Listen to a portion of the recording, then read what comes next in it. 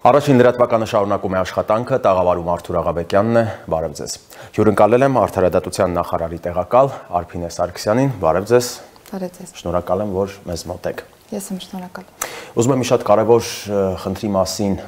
խոսենք, առաջին հարցը հենց ձևակերպեմ,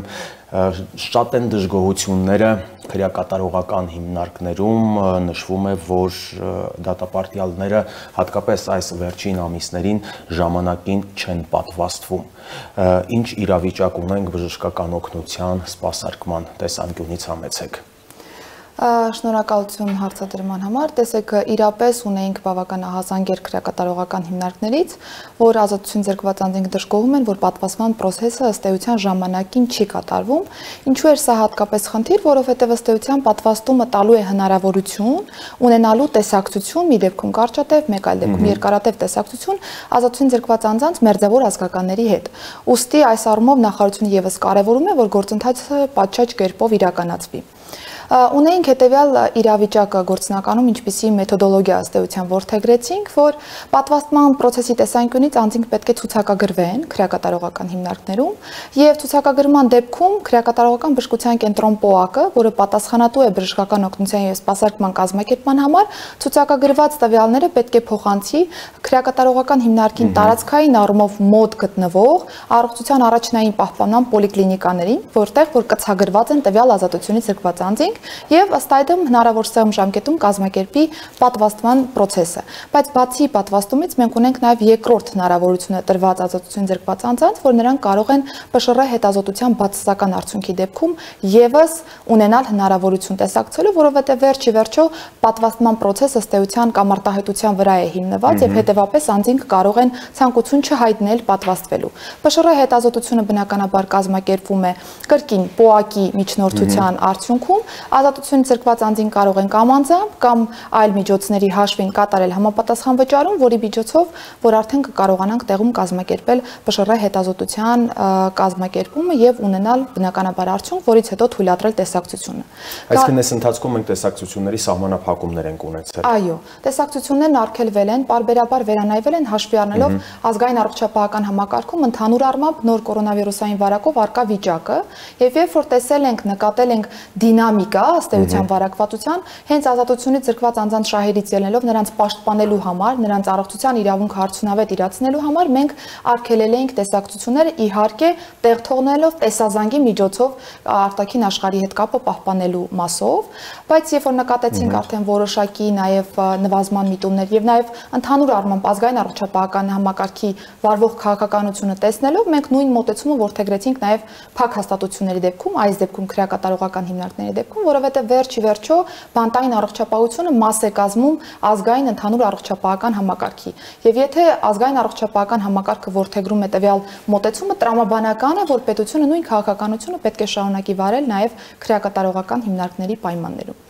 Մենք քրեակատարողական հիմնարկներում դատապարտյալների պատվաստման ինչպիսի վիճակագրություն ունենք Այս պահի դրությամբ շուրջ 900 ազատությունից զրկված անձինք արդեն իսկ պատվաստված են։ Եթե ընդհանուր համեմատության մեջ նայենք, այս պահի դրությամբ ունենք շուրջ 2150 ազատությունից զրկված անձինք, որոնք գտնվում են քրեակատարողական հիմնարկներում։ 900-ից բացի կան նաև ցուցակագրված անձինք, ովքեր պատրաստվում են առաջիկայում պատվաստվել։ Այն անձինք, ովքեր չեն ցանկանում պատվաստվել, բնականաբար դիմում են կամ ՊՇՌ հետազոտության մեթոդով տեսակցություն ստանալու, այսպես ասեմ, տարբերակին կամ պարզապես չեն ընտրում ոչ մի տարբերակը եւ օգտվում են տեսազանգերից։ Հասկանալի է։ Կոշ եւ հրազդան քրեակատարողական հիմնարկները վերջին շրջանում փակվեցին։ Սա կարծեմ,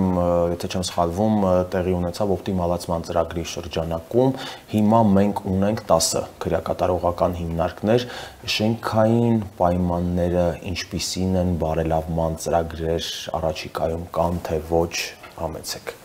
Տեսեք 12 քրեակատարողական հիմնարկներ երբ ունենք, ինչու մենք ворթագրեցինք օպտիմալացման ճանապարհով գնալու, այսպես ասեմ, ռազմավարությունը, որովհետև թե մենք, թե քաղաքացիական հասարակության ներկայացուցիչները, թե նաև հատկապես միջազգային կոնվենցիոն մեխանիզմները, հատկապես խոշտանգումների կանխարգելման կոմիտեն Հայաստան կատարած այցելությունների շրջանակներում թիրախավորում էր շենքային պայմանների, այսպես ասեմ, ոչ բավարար լինելը Հայաստանի Հանրապետության մակարդակում եւ խոշտանգումների կանխարգելման կոմիտեի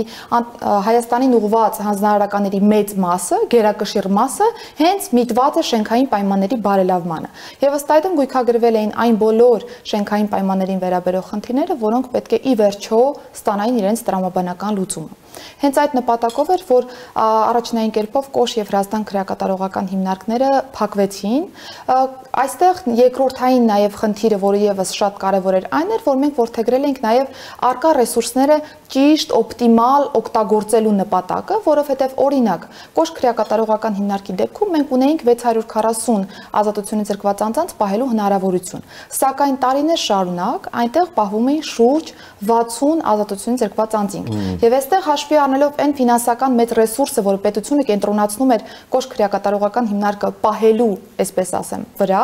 կարծում եմ յուրաքանչյուր անաչառ դիտորդի մոտ առնվազն հարց կառաջանար, թե մենք ինչու ենք ընդամենը 60 հոգու պահելու համար ծախսում այդքան ահռելի դրամական միջոցներ։ Ըստ այդմ պետությունը գնաց այն ճանապարհով, որ երկու քրեակատարողական հիմնարկ փակելու արդյունքում խնայեցինք 1.2 միլիարդ ՀՀ դրամ եւ դա ուղեցինք մեր մնացած համակարգային այլ խնդիրների լուծմանը։ Իհարկե առաջնային կերպով կան նաև այլ քրեակատարողական հիմնարկներ, որոնք պետք է միանշանակ կերպով փակվեն։ Խոսքը վերաբերում է Նուբարաշենի մասին Երկար տարիներ Նուբարաշեն քրեակատարողական հիմնարկի փակման մասին խոսվում է, որ բավարար պայմաններ չկան, հա- հակասանիտարական իրավիճակ է եւ այլն, բայց կարծես գործնականում որևէ քայլ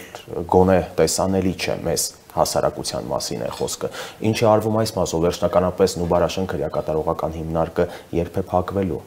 Տեսեք, Նուբարաշեն քրեակատարողական հիմնարկը միանշանակ փակվելու է, սա կարծում եմ փաստ է, որն արձանագրված է քրեակատարողական ոլորտի քարամյա ռազմավարությամբ եւ տարբեր հարթակներում, նաեւ միջազգային կառույցների հետ մենք այս փաստը գործընկերների հետ միանշանակ կիսել ենք։ Բայց ինչ ենք անում մենք գործնականում այս փաստը իրականում իմպլեմենտացնելու տեսանկյունից։ Նուբարաշեն քրեակատարողական հիմնարկում գտնվում են շուրջ 450 ազատությունից զրկված անձինք։ Եվ եթե օրինակ պրոյեկտելով իմ ասածը կոշ քրեակատարողական հիմնարկի դեպքում դեպքում, որտեղ ընդամենը 60 անձի մասին է խոսքը, ու մենք կարողացանք այդ անձանց տեղաբաշխել այլ քրեակատարողական հիմնարկներ, 450 ազատություն զրկված անձանց այս պահի դրությամբ շատ դժվար է, երբեմն նաև գուցե շատ դեպքերում անհնարին տեղաբաշխել մեր մնացած քրեակատարողական հիմնարկներում։ Հետևաբար Նուբարաշեն քրեակատարողական հիմնարկի փակման ռազմավարությունը այսպիսի տրամաբանություն ունի։ Նուբարաշեն, այդ թվում դատապարտյալների հիվանդանոց, Երևան կենտրոն քրեակատարողական հիմնարկները փակվելու են այն պարագայում, երբ որ կհանձնվի նոր քրեակատարողական հիմնարկ շահագործման, ընդ որում, այսպես ասեմ, այս գաղափարը սարերի հետևում չէ, այս պայդրությամբ քայլեր ձեռնարկվում են այս ուղղությամբ։ Նոր քրեակատարողական հիմնարկի մասին է խոսքը։ Այո, նոր քրեակատարողական հիմնարկը կգա փոխարինելու առնվազն այս 3 քրեակատարողական հիմնարկներին, պլյուս մենք նաև դիտարկում ենք Վարդաշեն քրեակատարողական հիմնարկը փակելու տարբերակը, որովհետև Երևանում, Երևանի շրջանում մենք ունենք 4 քրեակատարողական հիմնարկ եւ այս նոր քրեակատարողական հիմնարկը, որը նախատեսված է ռազմավարությամբ իզորու է, այսպես ասեմ, ծածկելու 4 քրեակատարողական հիմնարկի հիմնական գործառույթը։ ավելի մեծ է լինելու։ Այո, կլինի շուրջ 1000 լրակազմ ունեցող քրեակատարողական հիմնարկ։ Ընտրվել է նախկին Երևանի քրեակատարողական հիմնարկի տարածքը, բայց պետք է նշեմ, որ որpիսի մենք վստահ լինենք, որ տարածքը միանշանակ պիտանի է հետագայում հողային խնդիրներ մենք չենք ունենա, այս պահեդրությամբ Քակաշինության կոմիտեի մեր գործընկերների հետ գեոլոգիական աշխատանքների ուղղությամբ ենք քայլեր տանում, որpիսի վստահ լինենք, որ սողանքային ընդերքային այլ խնդիրներ մենք տվյալ տարածքի տեսանկյունից գոնե թե չունենք։ Սակայն այս աշխատանքները բնականաբար չեն կասեցնելու զուգահեռաբար ընթացող այլ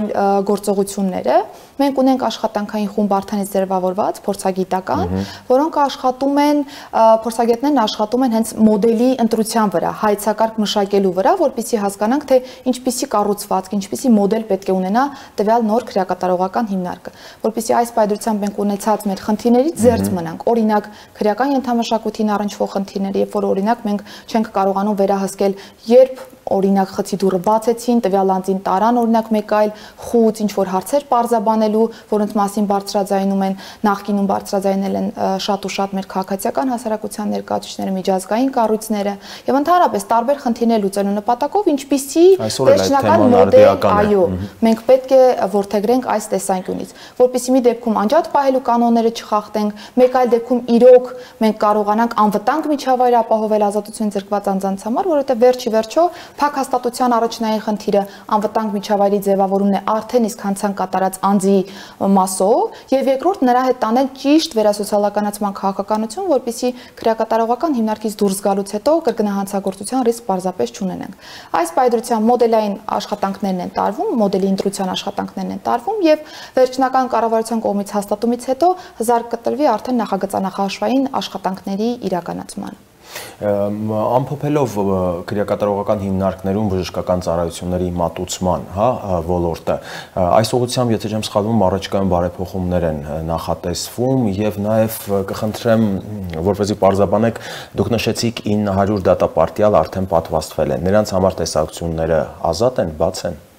Տեսեք, գալով ընդհանուր բարեփոխումների կոնտեքստից պետք է նշեմ, որ բարեփոխումները սկսել են դեռևս շատ ավելի շուտ, քան այս պահին ենք մենք գտնվում։ 2019 թվականի սեպտեմբերից սկսել է իր գործունեությունը ծավալել քրեակատարողական բժշկության կենտրոն ՊՕԱԿ-ը, որն առանձին է քրեակատարողական ծառայությունից։ Ընդ որում սա պարզապես, այսպես ասեմ, գործառույթների տարանջատման եւ զուտ երկու կառույց ունենալու միտումից բնականաբար չէր բխում։ Մեր խնդիրը իրավունքակենտրոն մոտեցում ապահովել ապահովելներ առողջության պահպանման իրավունքի տեսանկյունից։ ՊՕԱԿ-ը ինչու առանձնացավ, որովհետև նախկինում բժշկական օգնությունը սպասարկումն իրականացնում էին քրեակատարողական ծառայողները քրեակատարողական ծառայության կազմում եւ տրամաբանական է, որ ենթակայական հարաբերությունների տակ գտնվող անձինք շատ ու շատ դեպքերում անաչառ մասնագիտական որոշում չէին կարողանա պարզապես կայացնել։ Եվ ըստ այդմ այստեղ աճում է նաեւ ռիսկը տարբեր կոռուպցիոն դրսևորումների կամ այլ դրսևորումների եւ երկրորդ նաեւ չկար վստահության բարձր մակարդակ ազատություն ձերկված անձանց կողմից, որովհետև եթե նրանք գիտեին, որ վերջի վերջո իրենց բժշկական օգնության եւ սպասարկման հարցը կախված է լինելու օրինակ տվյալ քրեակատարողական հիմնարկի պետից կամ քրեակատարողական ծառայության ղեկավար անձնակազմից, տրամաբանական է, որ նրանք կարող էին ակնկալել, որ ենթակայական հարաբերությունների տակ գտնվելու պայմաններում կարող էր ոչ օբյեկտիվ որոշում կայացվել իշահ ընդհանուր քրեակատարողական համակարգի, օրինակ ուղեկցումներ չէին իրականացնի քաղաքացիական հիվանդանոցներ կամ անընդհատ ինչ որ տեղաշարժեր չէին իրականացնի։ Եվ պետք է ուրախությամբ փաստեմ, որ թե միջազգային գործընկերները, թե ներպետական գործընկերները ողջունել են կառավարության այս քաղաքականությունը եւ մենք դրական արձանագրումներ ունենք արդեն իսկ պրակտիկայում։ Օրինակ, մի օրինակ բերեմ, նախկինում երբ որ անձը պետք է տեղափոխվեր քաղաքացիական հիվանդանոց, այստեղ բազմողակ ինչ որ շատ վարչարարական process-ներ էին գնում։ Բժիշկը դիմում էր քրեակատարողական հիմնարկի պետին, հիմնարկի պետը ծառայության պետին, ծառայության պետը դիմում էր առողջապահության նախարարությանը, որպիսի թույլտվություն ստանար, որ ընդամենը անձին քրեակատարողական հիմնարկից տեղափոխեին քաղաքացիական հիվանդանոց։ Այս պահեդրությամբ ընդամենը երկողակ համակարգ է։ Բժիշկը դիմում է քրեակատարողական բժշկության կենտրոն ՊՕԱԿ-ի տնօրենին եւ ասում, որ կա X հետազոտություն կատարելու անհրաժեշտություն։ Տեղում ընդամենը ժամերի ընթացքում, անգամ րոպեների ընթացքում կարող է տրամադրվել թույլտվությունը, որpիսի անձիկ տեղափոխվեն քաղաքացիական հիվանդանոց բայց պետք է նշեմ, որ բնականաբար սա առանցքն էր բարեփոխման, բայց դրանից բազմաթիվ ենթաճյուղեր են դուրս գալիս, որոնք եւս պետք է լուծվեն, որpիսի իրապես մեր բարեփոխումը, այսպես ասեմ, հասնի իր տրամաբանական ավարտին։ Բժշկական օգնության եւ սպասարկման որակի բարելավման տեսանկյունից առաջնային հարց է այն, որ շատ ու շատ դեպքերում մենք նեղ մասնագետների պակաս ունենք, հաստիկների պակաս ունենք եւ օրինակ Արմավիր քրեակատարողական հիմնարկի դեպքում, երբ որ մենք ունենք շուրջ 900 ազատություն ձերբած անձինք, շատ դժվար է չափազանց փոքր բժշկական անձնակազմով ծածկել այնտեղ գտնվող բոլոր պացիենտների կարիքները։ Եվ ըստ այդմ այս տարի կառավարության որոշմամբ ավելացվեցին քրեակատարողական բժշկության կենտրոն ՊՕԱԿ-ի հաստիկները եւ այս պայդրությամբ ՊՕԱԿ-ն ունի շուրջ 200 հաստիկային միավոր, որոնք, այսպես ասեմ, այս պահին իզորու են առավել արդյունավետ կերպով իրականացնելու իրենց արժեվ դրված խնդիրները, հատկապես արմավիր քրեակատարողական հիմնարկի պարագայում։ Հաջորդ կարևոր քայլը թերևս ես կուզեի առանձնացնել հերաբժշկության մոդելը, ընդհանուր առողջապահական համակարգում լայն տարածում ստեղծում ունի նաև հրաբժշկական, այսպես ասեմ, մոդելի ներդրման ուղված աշխատանքների միտումը։ Դա ենթադրում է օրինակ, որ քրեակատարողական հիմնարկում, օրինակ, արմավիր քրեակատարողական հիմնարկում անձը կարող է կարիք ունենալ բժշկական օգնության եւ սպասարկման այնպիսի նեղ ոլորտում, որը տվյալ պահին տվյալ հիմնարկը չի ծածկում։ Սակայն օրինակ մենք նման մասնագետ ունենք դատապարտյալների հիվանդանոց քրեակատարողական հիմնարկում։ Գործողում եք այնտեղ չենք գործողում։ Պարզապես մենք տեսակապի միջոցով կապ ենք հաստատում դատապարտյալների հիվանդանոց քրեակատարողական հիմնարկի հետ եւ բժշկական կոնսուլտացիա ենք իրականացնում։ Սա իհարկե պիլոտային ճանապարհով ձեռք բերված, այսպես ասեմ, ընդհանուր մոտեցումն է, որովհետեւ վերջի վերջո կապը ոչ միայն պետք է լինի ներհիմնարկային մակարդակով, այլև նաեւ դրսի քաղաքացիական հիվանդանոցների հետ, որովհետև վերջի վերջում մեր նպատակը, ինչպես ես սկզբում նշեցի, ազգային առողջապահական համակարգի լիարժեք մաս կազմելն է։ Հետևաբար, եթե մենք ընդհանուր առմամբ հրաբժշկության մոդելով ենք առաջ շարժվում, պետք է կապ հաստատենք ոչ միայն այլ քրեակատարողական հիմնարկների հետ, այլ նաև քաղաքացիական հիվանդանոցների հետ։ Բժշկության ոլորտով պետք է նշեմ, որ լուրջ խնդիր ունենք մահացության, ինքնասպանության, ինքնավնասումների դեպքերի կանխարգելման տեսանկյունից, ընդ որում պետք է փաստել, որ ճիշտ է 2020 թվականին մենք ունենք ընդամենը մահվան 5 դեպք, եւ ըստ այդմ տարիների կտրվածքով ուսումնասիրություն թույլ է տալիս, որ ունենք էական նվազում, բայց անգամ մեկ դեպքի արկայությունը նախարարության համար մտահոգիչ է, լուրջ ազդակ է, որpիսի մենք շարունակենք այս ուղղությամբ քայլերի ձեռնարկումը։ Եվ ըստ այդմ Եվրոպայի խորհրդի մեր գործընկերների հետ նախաձեռնել ենք հետեւյալ գործիքակազմի ներդրման աշխատանքները ներդրել ենք երկու հիմնական գործիք։ Մեկը հոգեկան առողջության զնության ռիսկի գնահատման գործիքն է, մեկը ինքնասպանության եւ ինքնավնասման ռիսկի գնահատման գործիքն է։ Ինչ է սա ենթադրում։ Երբ որ անձը մուտք է գործում քրեակատարողական հիմնարկ, տրամաբանական է, որ գալով դրսից հասարակությունից, այստեղ մեկուսացվածության նման պայմաններում գտնվելով կարող է հոգեկան առողջական վիճակի հետ կապված որոշակի խնդիրների հայտ գան, ադապտացման հետ կապված, այլ թեմաների հետ կապված, որովհետեւ վերջի վերջո գալով քրեակատարողական հիմնարկ անձը խիստ ռեժիմային պայմաններում պետք է ապրի։ Եվ բնականաբար հենց սկզբի փուլում կարանտինային հատկապես մասնաշենքում գտնվելու պայմաններում մեծանում է ռիսկը, որ անձը կարող է իր սեփական առողջությանը վնաս պատճառելուն ուղված քայլեր ձեռնարկի։ Եվ այս տեսանկյունից կարևոր է, որպիսի հիմնարկը ի սկզբանե հենց մուտք գործելուց հետո 24 ժամվա ընթացքում ճիշտ գնահատի ռիսկերը հոգեկան առողջական վիճակի տեսանկյունից ինքնասպանության ինքնավնասման թույլատրման, այսպես ասեմ, տեսանկյունից եւ կարողանա կանխարգելիչ բոլոր քայլերը ձեռնարկել։ Երեք քրեակատարողական հիմնարկում արդեն իսկ փորձարկել ենք այս գործիքակազմը։ Խոսքը գնում է Արմավիր, Աբովյան եւ Կոշ քրեակատարողական հիմնարկների մասին։ Ինչու մենք հենց ընտրեցինք այս երեք հիմնարկները, որովհետեւ ուզեցինք հասկանալ։ Օրինակ, Արմավիր քրեակատարողական հիմնարկը, որը ամենածանրաբեռնված է, այդպիսի ծանրաբեռնվածության պայմաններում կարող է իրականում գործիքը կիրառել թե ոչ։ Աբովյան քրեակատարողական հիմնարկի դեպքում մենք գործ ունենք կանանց եւ անչափահասների հետ, իսկ կոշ քրեակատարողական հիմնարկի դեպքում գործ ունենք ոչ խցային կացարանային պայմանների հետ։ Եվ հետեւաբար մեր համար կարեւոր էր հասկանալ բոլոր կատեգորիաների անձանց շրջանում այս գործիքը հուսալի է կիրառման տեսանկյունից թե ոչ։ Եվ ըստ այդմ ունենք բավական դրական արձանագրումներ եւ կարծում եմ առաջիկայում ամբողջ համակարգի մակարդակով մենք վերջնական նախարարի հրամանով կհաստատենք այս գործիքակազմը եւ կունենանք իրապես կիրառում։ Վերադառնալով պատվաստման թեմային, պետք է նշեմ, որ այստեղ ընդհանուր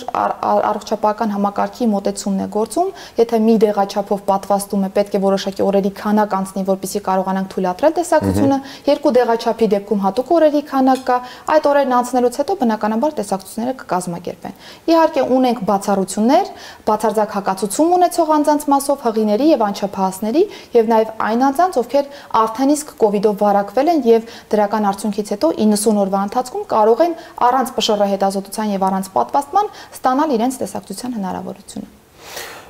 Եվս մեկ կարևոր խնդրի մասին. Նախկինում դժգոհություններ կային սննդի մատակարարման հետ կապված։ Հիմա այդ գործառույթն իրականացնում է մասնավոր ընկերությունը։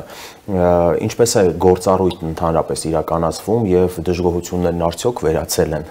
շատ ճիշտ նշեցիք, որ կային դժգոհություններ, ընդ որում դժգոհությունները գալիս էին ոչ միայն ազատություն ձերկված անձին, այլ նաև նախարարությունը ինքնին շատ դժգոհ էր ըստ էության ստացվող սննդի մատակարարվող սննդի որակից, եւ հենց դա էր նպատակը, որ մենք որթեգրեցինք նոր մոդել սննդի մատակարարման, պատվիրակելով այն մասնավոր ընկերությանը։ Ինչ է սա նշանակում։ Քրեակատարողական ծառայությունը սննդի պատրաստման process-ի տեսանկյունից այլևս ոչ մի գործառույթ չունի։ Միակ գործառույթը, որ ունի ծառայությունը, ընդամենը մրցույթ հայտարարելն է է, որբիսի տարբեր մասնավոր ընկերություններ կան եւ մասնակցեն տվյալ մրցույթին եւ արդյունքում մենք ունենանք հաղթող։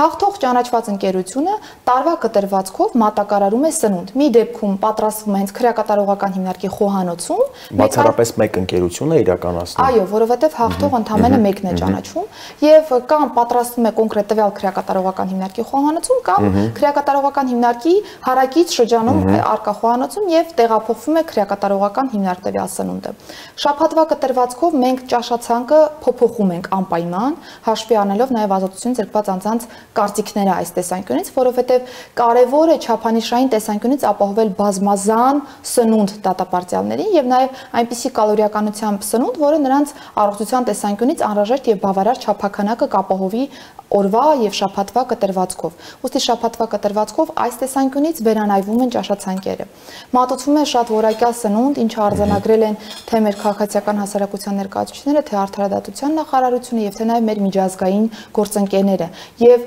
օգտվելիության տեսանկյունից, երբ որ ուզում ենք համեմատել այս նոր սնունդը, որ տոկոսն է օգտագործում դատապարտյալների, պետք է նշեմ, որ թե 2020 թվականի, թե 21 թվականի վիճակագրական տվյալները ցույց են տալիս, որ մենք 98-99 տոկոս օգտվելիության ցուցանիշ ունենք, այսինքն հրաժարվողների թիվը չափազանց ցածր է այս տեսանկյունից, ընդամենը 1 կամ 2 տոկոս։ Մնացյալ բոլոր ազատություն ձեռքված անձինք օգտվում են այս սննդից։ Ինչն է կարևոր այս նոր մատակարարման process-ում, որ վերջնականապես լուծվեց նաև դիետիկ սննդի հարցը։ Մենք բոլորս պետք է ընդունենք, որ կան որոշակի նազոլոգիական խմբեր առողջապահական համակարգի շրջանակներում հիվանդություններ, օրինակ սիրտանոթային համակարգի խնդիրներ են, աղեստամոքսային համակարգի խնդիրներ են, հեպատիտ C եւ այլն եւ այլն, որոնց դեպքում հատուկ սննդակարգի կարիք ունի անձը։ Եվ եթե օրինակ դրսում գտնվելու պայմաններում օրինակ մեզնից յուրաքանչյուրը կարող է տվյալ սննդակարգից օգտվել, նախկինում ազատություն ձեռքված անձիկ չունեին հնարավորություն նմանատիպ ճաշատեսակներից օգտվելու ստեղծելու եւ այս դեպքում մատակարարը նաեւ մեզ համար առանձին հաշվի առնելով մեր հիմնական առաջքաշած հիվանդությունները առանձին դիետիկ սննդակարգեր եւս առաջարկում է ազատություն ձերկված անձանց եւ այս պահիդրությամբ շուրջ 70 անձ օգտվում է հենց այդ սննդակարգերից ինչը չափազանց կարեւոր է նաեւ միջազգային չափանիշների ապահովման տեսանկյունից եւ նաեւ եվրոպական դատանի ընդդեմ Հայաստանի կայացած վճիրների իմպլեմենտացիոն գործընթացի տեսանկյունից որովհետեւ նույն Աշոտ Հարությունյանն ընդդեմ Հայաստանի վճռով եվրոպական Եվրոպական դատարան արձանագրել էր, որ գանգատարկուի հիմնական բողոքներից մեկն այն էր, որ ունենալով բժշկական օգնության եւ սպասարկման խնդիրներ, առողջական որոշակի խնդիրներ, անձը չունի հնարավորություն օգտվելու դրան համապատասխան սննդակարգից։ Եվ կարծում եմ այս դեպքում այս հարցը արդեն իսպար վերացած կարելի է համարել։ Եվ ամփոփելով մեր զրույցը, առհասարակ պրոբացիայի ծառայությունը, որ ստեղծվում է, այն միտված է քրեակատարողական հիմնարկները բեռնաթափելուն։ Պրոբացիայի ծառայության զարգացման ուղղությամբ ինչ աշխատանքներ են տարվում, այստեղ խնդիրներ ունեն ունենք, թե ոչ իրապես պրոբացիայի ծառայությունը կարևոր ցուցիչ է երկրների համար երկրում վերականգնողական արդարադատության մոտեցումները ընկալելի դարձնելու տեսանկյունից, որովհետև եթե պետությունը ստեղծում է այդպիսի ծառայություն, նպատակն այն է, որ վերջի վերջո մենք բանտերում ունենանք ավելի քիչ թվով անձինք եւ հասարակության պայմաններում ավելի շատ աշխատանք տանենք հանցան կատարած անձանց հետ։ Ունեինք հաստիկակազմի խնդիր, կարելի է ասել պրոբացիայի ծառայության դեպքում, եւ արկա հաստիկակազմը բավարար չէր սպասարկելու այն պրոբացիոն գործ գործերը ըստ էության, որոնք տարեց տարի ըստ իմ ասած տրամաբանության պետք է աճեն, որովհետև հիմնարկներում մենք ունենում ենք թվի նվազում եւ ըստ այդմ տրամաբանական է, որ թիվը պետք է աճի պրոբացիայի ծառայության դաշտում։ Եվ հենց Կոշ եւ Հրազդան քրեակատարողական հիմնարկի պարագայում, երբ որ ունեցան խնայողություն, 50 հաստիքի համար նախատեսված ֆինանսական բյուջետային հատվածը տեղափոխվեց պրոբացիայի ծառայության դաշտ եւ այս պայդրությամբ ծառայությունն ունի թվով 158 հաստիկային միավոր, ինչը կարծում եմ արկա ռեսուրսների պայմաններում կառավարելի կարող է դարձնել հոսքերը պրոբացիոն գործերի եւ ապահովել առավել արդյունավետ աշխատանք։ Պրոբացիայի ծառայության տեսանկյունից կարևոր է այն, որ ծառայությունը հասկանա, թե անհատական պլանավորման ինչպիսի ճանապարհով պետք է աշխատի պրոբացիայի շահառուների հետ, որովհետեւ վերջի վերջո, եթե մենք շեշտը չենք դնում անձի վրա, կոնկրետ անձի կարիքների, նրա ռիսկերի վրա, հետեւապես մենք չենք կարող ակնկալել, որ վերջնարդյունքում կունենանք տվյալ անձի կողմից կրկնահացակորցության ռիսկի չեզոքացում։ Եվ ըստ այդմ պրոբացիայի ծառայությունն այս տարի օգտագործում է արդեն քրեատին կարիքների գնահատման հատուկ գործիք, որը կրկին մշակվել է Եվրոպայի խորհրդի մեր գործընկերների հետ, ներպետական եւ միջազգային փորձագետների, որով յուրաքանչյուր շահառու, երբ որ գալիս է քրեակատարող գալիս է պրոբացիայի ծառայություն, գնահատում է ինչպիսի կրիմինոգեն կարիքներ ունի տվյալ պրոբացիայի շահառուն, որpիսի կազմվի անհատական պլան եւ պրոբացիայի ծառայությունը կարողանա հասկանալ ինչպես կարող է չեզոքացնել այդ բոլոր կարիքները, բավարարել այդ կարիքները եւ վերջնարդյունքում բնականաբար հասնել իրական վերասոցիալականացման պրոբացիայի շահառուի։ Շնորհակալ եմ զրույցի համար։ Ես էլ եմ շնորհակալ։ Հարգելի հեռուստադիտողներ, զրուցում էի Արդարադատության նախարարի տեղակալ Արփինե Սարգսյանի հետ։ Առողջ ու խաղաղ ապրեք, կհանդիպենք առայժմ։